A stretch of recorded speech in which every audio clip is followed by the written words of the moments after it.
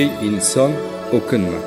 Ey hayotdan malollanib zerikib taqdirdan nolib yurgan kunlarni g'am g'ussalar bilan siqilib o'tkazayotgan inson. Albatta ochiq oydin g'alaba bor.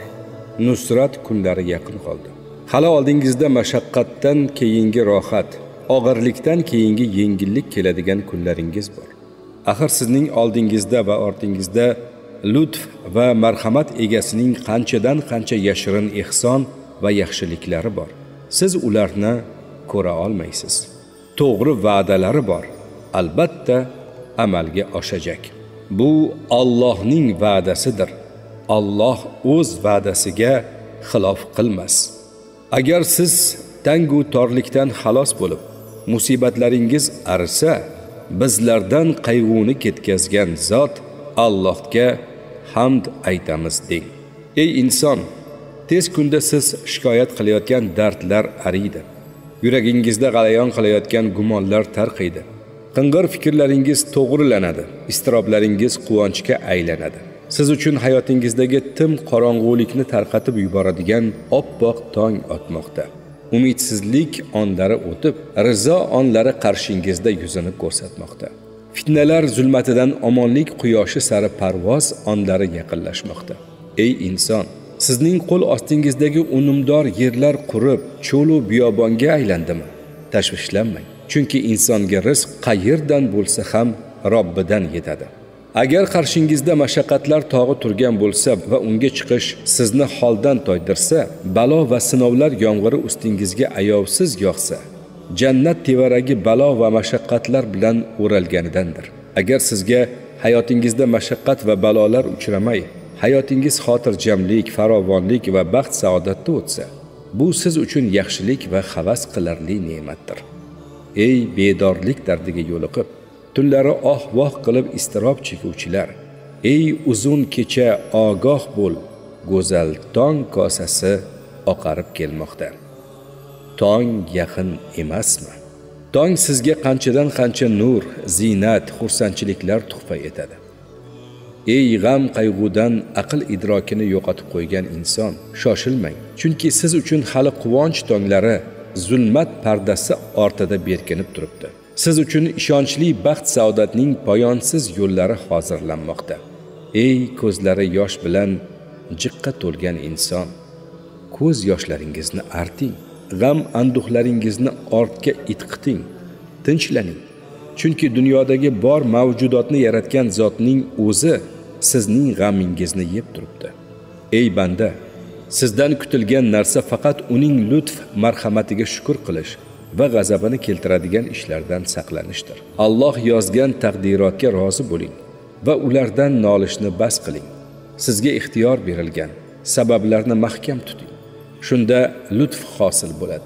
Mashaqqat og'irligi yurakdan ketadi. Mehnatning rohatbaxsh terlari jismingizni qamrab oladi. G'ayratli shijoatli bo'lsangiz ajr savob va barakalar in'om etiladi. Tinchlaning. Chunki siz o'z ishlari ustidan g'olib bo'lgan lutf ehson karam egasi yaratiqlariga o'ta mehribon ishlarda go'zal tadbir qiluvchi zot bilan birga muomala qilyapsiz. Tinchlaning. Chunki oqibatlar go'zal natijalar rohatlanarli xotimalar ulug'dir. Faqirlikdan so'ng boylik tashnalikdan so'ng seroblik ayriliqdan so'ng visol to'silishdan so'ng yetishish uzilishdan so'ng bog'lanish uyqusizlikdan so'ng to'yib uxlash bor. Siz bilmassiz ehtimol Alloh bundan keyin biror ishni paydo qilar. Ular yoqqan olov taratar yolqin osmon ham yorishar demak tong yaqin. Yo'lboshchi taraddud holida bu ham ne qilishni bilmas tuyakash horg'in. Tafakkur qilmoqqa hayollarim xom. Yuragim shikasta ishqim benishon.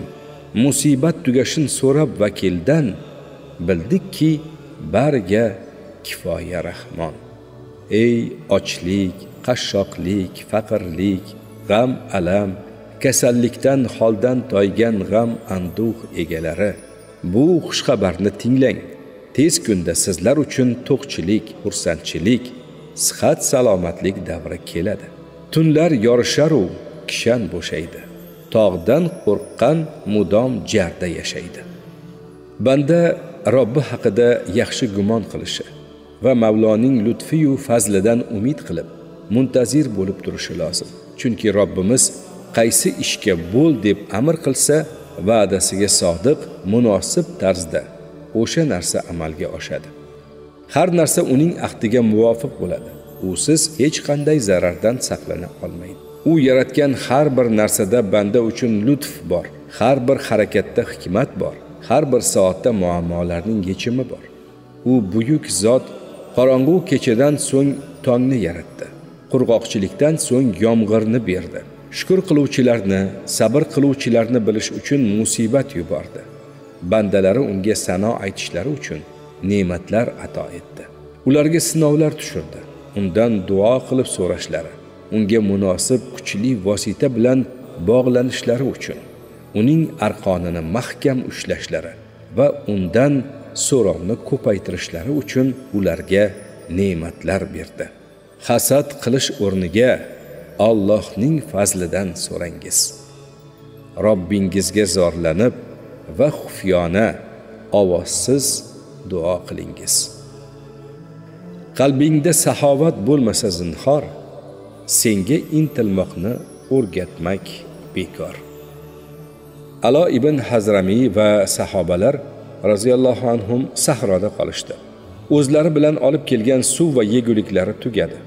O'lim ularni ta'qib eta boshladi. Shunda alo roziyallohu anhu alloh duolarni eshitguvchi va ijobat qilguvchi ekaniga ishonib unga yaqin holda ey oliy ey eng oliy buyuk hikmat va halimlik egasi bo'lgan zot deb duo qildi.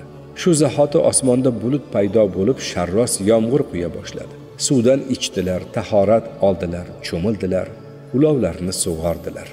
U odamlar umidsizlikka tushganlaridan keyin yomg'ir yog'diradigan va o'z rahmatini barakotini keng yoyadigan zotdir. U mo'minlarga vali do'st va hamid hamd egasidir. Alloh taoloning muhabbati uni tanish uning zikrida davomli bo'lish u bilan orom topish u bilan xotirjam bo'lish yolg'iz uning sevgisi bilan yashash undangina qo'rqish umid qilish ungagina tavakkal etish banda qalbida shakllansa yolg'iz o'zi bandaning do'sti bo'ladi.